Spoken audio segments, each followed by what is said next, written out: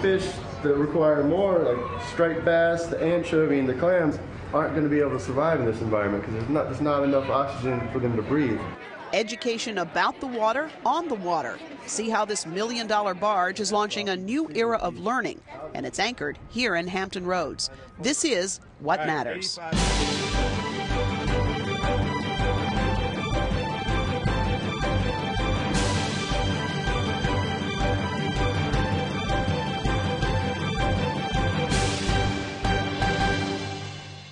Good evening. I'm Cathy Lewis. There's a new wave of learning, so to speak, about our waterways, specifically the Elizabeth River. This major estuary is a vital artery into the heart of Hampton Roads military and commercial ports, and it runs between Portsmouth and Norfolk. For years now, the focus has been on cleaning it up. Now there's a new classroom that's taking young people right to the water's edge. Lisa Godley shows us a new generation of environmental education.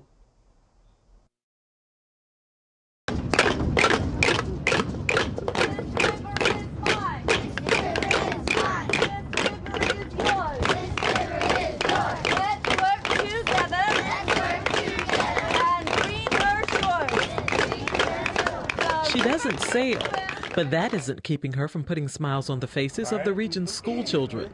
And the best part? While these youngsters play games, conduct experiments, and create art, Pull! Oh, great pull. Thank you guys. they're learning. So what we have here is our list of species. And on this side, this is the amount of oxygen they need in the water in order to survive. So what was our reading again? Look at our board. What, what, is, what was that reading? 4.1, yes. And so that means fish that require more, like striped bass, the anchovy, and the clams, aren't going to be able to survive in this environment because there's not, there's not enough oxygen for them to breathe. Docked on the waterfront in downtown Portsmouth, the Learning Barge is the world's first floating classroom, offering students of all ages a way to examine the Elizabeth River up close. The barge was launched in mid September by the Elizabeth River Project, a nonprofit group determined to make the river, once a dumping ground for industry, both fishable and swimmable by 2020. When you come aboard, I hope that you will learn the majesty and majesticness of the Elizabeth River. And I also hope that each of you will learn how to make the Elizabeth River swimmable and fishable by 2020.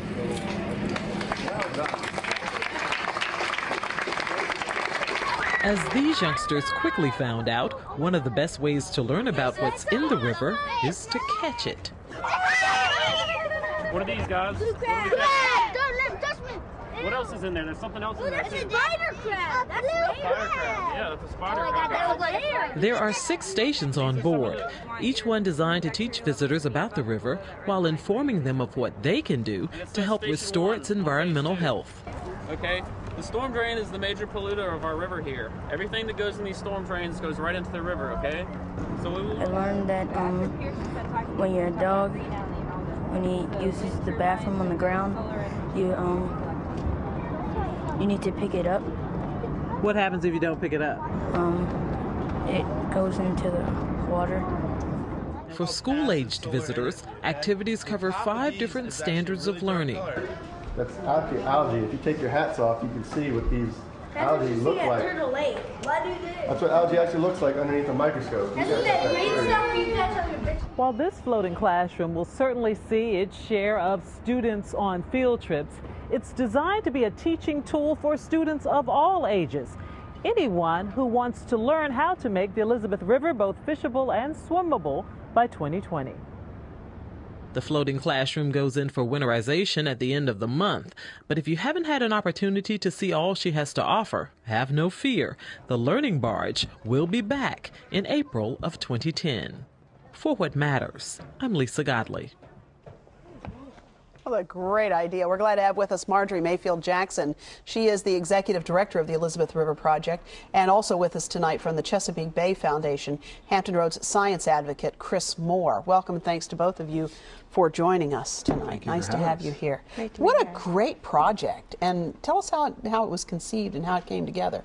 Well, we're really excited about it. It's really exceeded all our expectations.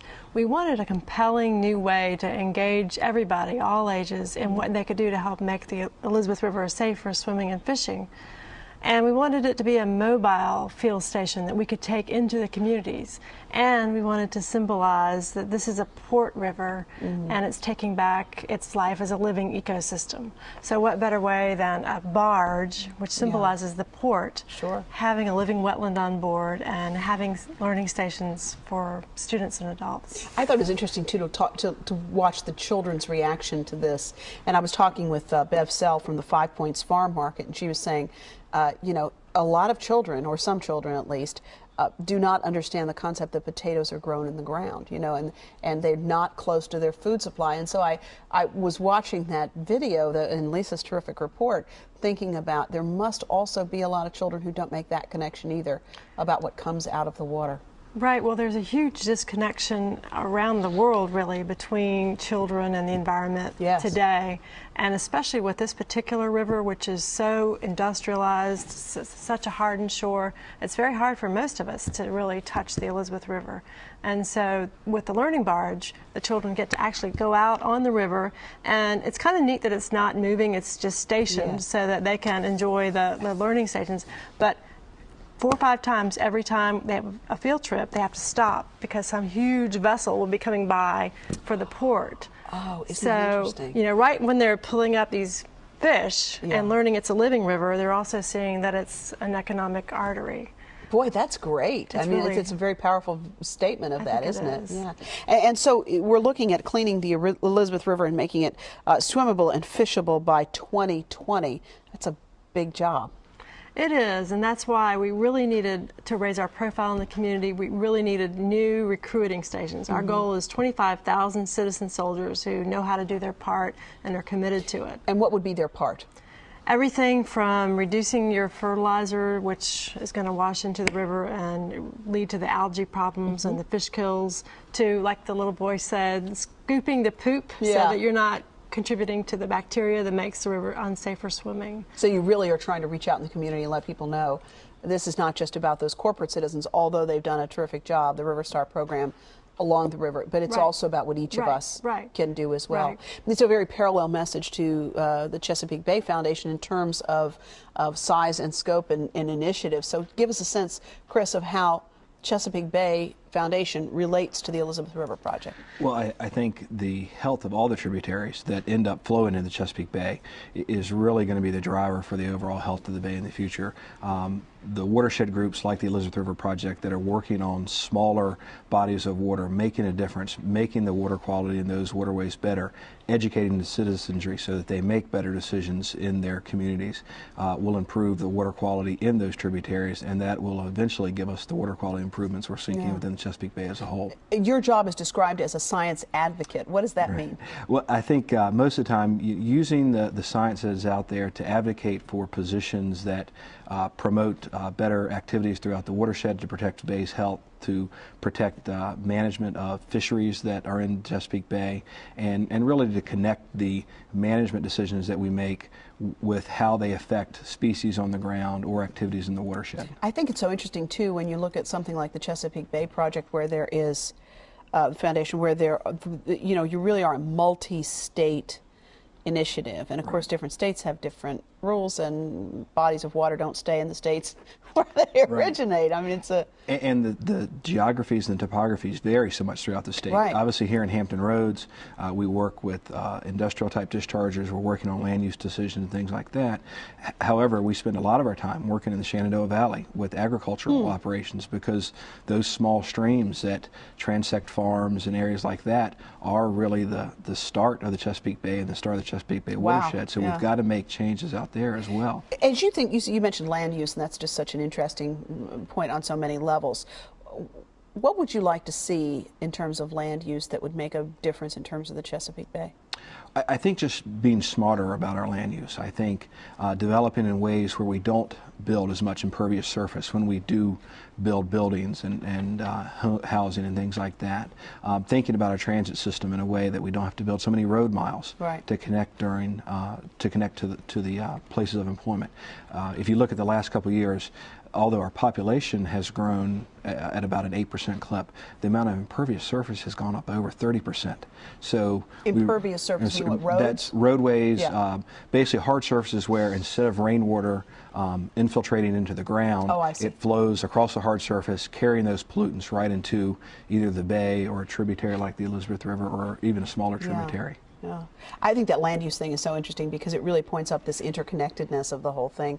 And so many people, I think, haven't quite put that together. The, the idea that uh, land use is related to uh, the management of the waterways, and then where we get our food and how we get our food is also a piece of this issue as well. Absolutely. Um, we like to believe that when you catch fish from the Elizabeth River, it would be just fine to eat them. Mm-hmm. But in fact, all of our land use practices over the years have made it not so great Yeah. to eat very many of them. And of course, we have this uh, great project, the, the Lynnhaven. I mean, what a success story that's been.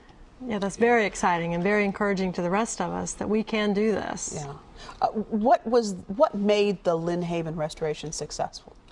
I think one of the things is it, it's been such a partnership between organizations like Chesapeake Bay Foundation, Lynnhaven River Now, the City of Virginia Beach, and then the citizenry to make changes in their everyday life that improve water quality. And then there's been the restoration efforts to build, rebuild oyster reefs, to build the habitat that was there. And then there's been efforts to stock those oyster reefs by CBF and other organizations so that uh, in addition to just putting the oysters out there to help filter the water, we're reducing the pollutant load that's coming in Mhm. and therefore the water body can actually assimilate that and we can see real gains and strides in, in and we quality. are in fact seeing gains and strides. I mean, I think that's the thing that's so tough about this is that when you ask the average person, when the average person stands at the edge of the water and looks out at something as magnificent as the Bay or the Elizabeth River or the Lafayette, it's kind of hard to imagine what you could do to affect change, and it's a daunting issue. But you really have been able to track change and improvement. We track it both in acres, like our Riverstar Industries have created a thousand acres of urban wildlife habitat and reduced their pollution voluntarily by 200 million pounds of pollution. So, by results of stewardship mm-hmm. in acres and pounds, and by improvement in, in water quality, the, the health of the Elizabeth River has been improving steadily over the years. There's still some daunting challenges, but we're beginning to get a handle on them. And so, we, uh, to break this down into more manageable goals, you've got a particular project in the Lafayette. We have a new project in the Lafayette. Um, we are working with Chesapeake Bay Foundation in a, in a new partnership, and the citizens there, and the City of Norfolk, and a lot of other partners to come up with a specific plan for the Lafayette to make Hmm. it swimmable and fishable even sooner than our big goal to make it swimmable and fishable by 2014. And we'll be announcing that plan, we hope, in the spring with Uh-huh. a lot of enthusiasm. Working out all the details now, Yes, yeah. indeed. But um, we already have some significant grant funding that we'll be talking about and some on the ground Great. projects. Yeah. So I think it's going to be very exciting. That's the, the other piece of that I think that's interesting is there's so much residential along the Lafayette that you really do have an opportunity to engage so many people who live along, uh, uh, who live at the water's edge. And boy, isn't that a marvelous feature of this region that you, you have so much better possibility of living on or near the water here than you do in many other parts of the country. No question about it. Do you have the sense, uh, Chris, that these, this message is getting through to the individual? I mean, we've talked a lot about how we get this to a corporate community and mm-hmm. that corporate citizens certainly are getting on board. Do you have the sense that individuals are as well? I- I think so, and, and I think a lot of how it's getting to individuals, though, is the programs like the Learning Barge and like our education programs here in, in Hampton Roads as well. It's the students who come out to these type of events that then go home and ask their parents to make a change here or a change there, and then the parents look a little bit more into it, and it starts and, and the, gets the ball rolling. Yeah. And I mean, was our children who taught us how to recycle, right? Right, I mean, exactly. You know, I- And I think uh, you know things that are happening now, like with uh, uh, using reusable bags, I think is something again that has kind of started with educating the children about it, and the parents have started to take that over. And uh, we hope now that, as Margie alluded to earlier, some of the things like maybe not fertilizing your lawn so much, because obviously the kids aren't doing that, but they learn about it on these various educational experiences, Mhm. are beginning to move up Yeah. the uh, the uh, ladder. up the age, Uh, up, the, age, ladder. That's chain. right. That's true. Uh, it's interesting because I note that uh, in, in North Carolina, you know, they passed that law in the, their last General Assembly that had to do with the plastic bags, and I think it's only stores of a certain size, where they basically banned these plastic bags that find their way into the waterways uh, so often. Uh, from a legislative perspective, do you see uh, legislation that will help further these efforts that might have an impact on consumers? Or, no, you, or is that really not your focus? That's not a, as big a focus for us. Uh-huh. Our, our focus has continued to be uh, on nutrient pollution Got in the. Chesapeake Bay and its tributaries. Uh, I, I think you will continue to see, though, um, probably some effort similar to that in Virginia um, because they are such a visual Sure. reminder of pollution. Now, it's, Yeah. it's not maybe the, the source that CBF is focused on at this time, but again, it's one of those first steps that people make to start connecting the dots Sure. and uh, live with less impact on the watershed. They say 25% of shorebirds have plastic bags in their stomachs.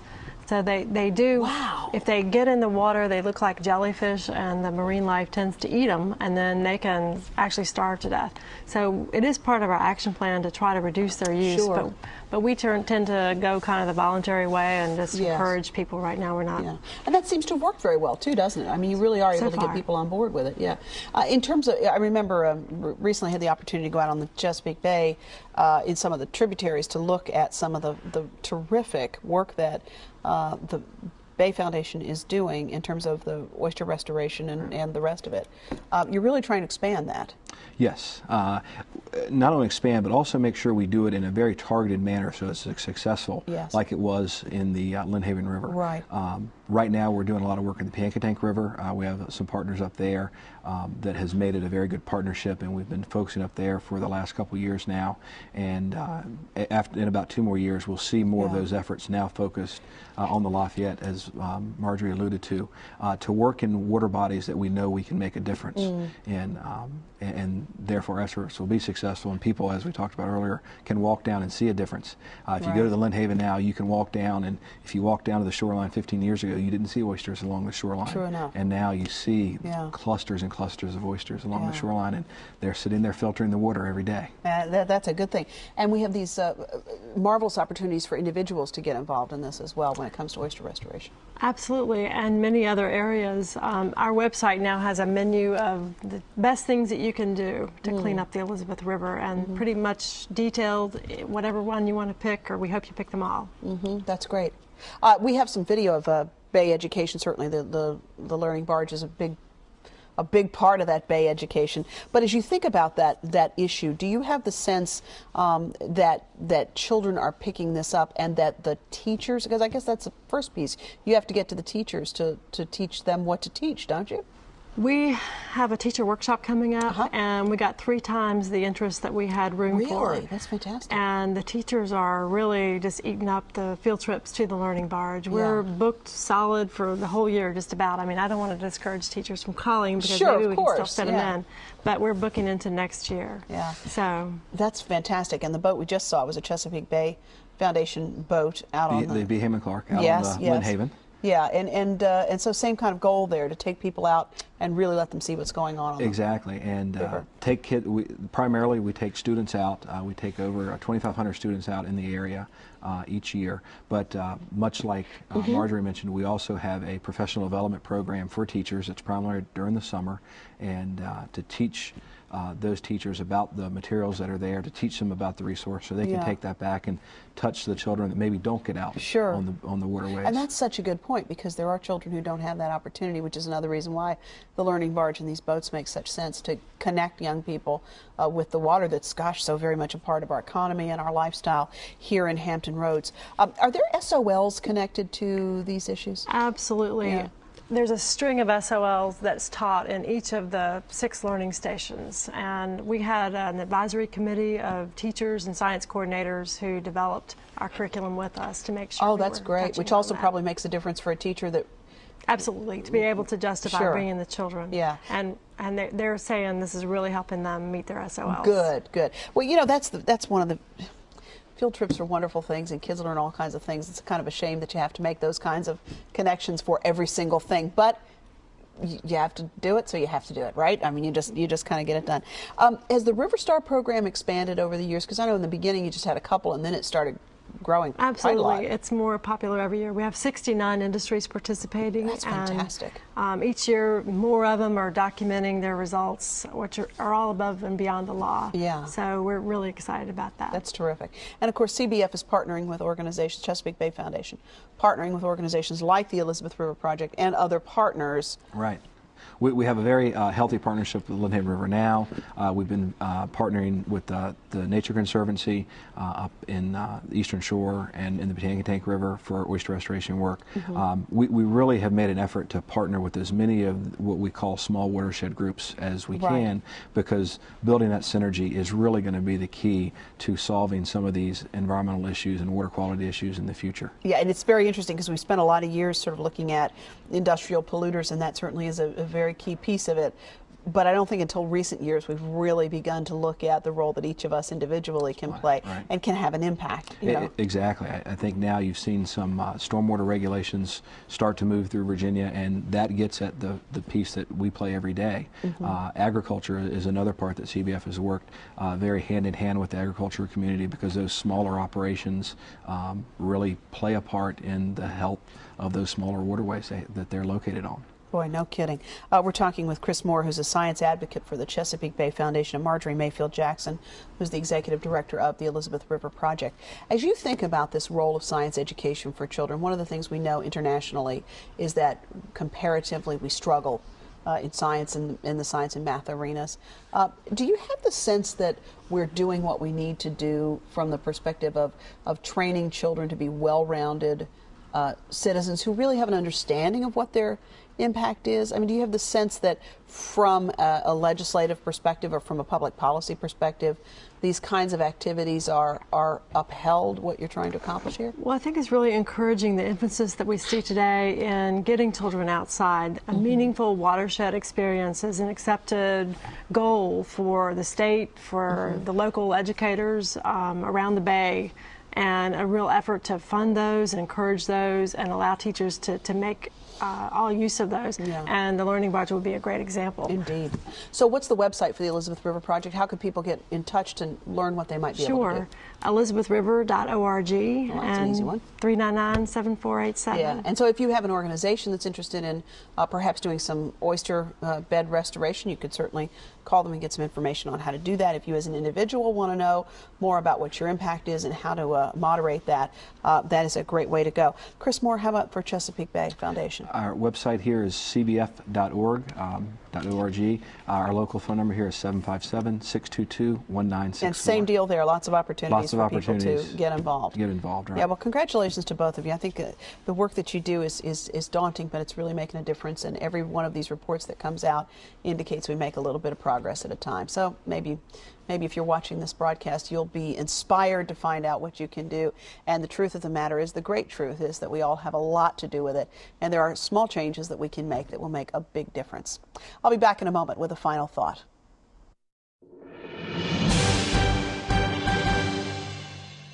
The Learning Barge had lots of help getting into the water. University of Virginia students spent the summer in Chesapeake working on the project, and a local shipyard donated the space and installed a fair amount of the equipment on the barge. According to the Virginian-Pilot, some of the students had already graduated, some of those UVA students, but they flew back to town to be there for the dedication.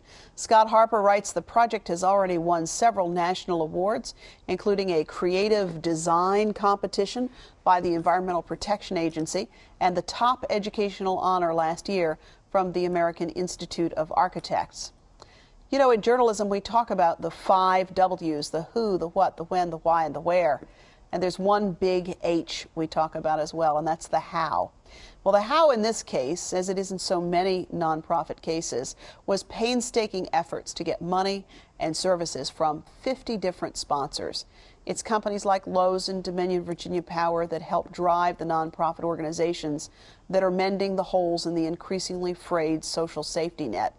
And so the next time you're invited to a charity auction or a fundraising event, take a look at the names of the corporate sponsors who help deliver these events and do business with them. And when you're at these charity events, don't think just because there's a $50 gift certificate there that it's not a deal if you have to pay 60 for it. There's a reason you pay 60 for it because it all goes back to the organization. And of course, when you do the math, what you paid for your ticket just about covers basic expenses. It covers your, your snacks, maybe your beverages. But it is the sponsorships and the gifts of good corporate citizens that drive so much that is good about living in Hampton Roads. So it's important to take a look at those companies that give their names and their dollars and their goods and services to charity organizations that make this community run, and then to go out and support those organizations as well. Well, if you'd like to watch this program again, I hope you'll join us online at whatmatters.tv. Of course, you can also download our audio and video podcasts through iTunes. Next week, we will look at the changing workplace. We'll check out the best places to work in Hampton Roads. And boy, there are lots of reasons that make them the best places to work. Some very innovative things going on in workplaces throughout this region. So we'll give you a look at that next week. Don't forget on the radio, tune in for Hearsay on WHRV FM 89.5, and we'd love to have you as part of that conversation live each weekday at noon as well. Thanks for watching. I'm Cathy Lewis, and we'll see you next time for another look at what matters.